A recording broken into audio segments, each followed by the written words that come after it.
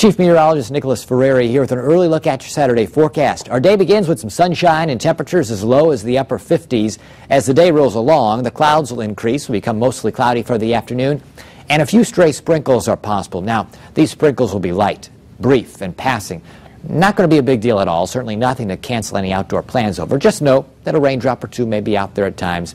That rain chance will linger up until about sunset. After that point, we'll be dry into our Sunday morning, then all morning long on Sunday dry, but then again Sunday afternoon we kind of repeat the same pattern where an occasional sprinkler or two may very well show up.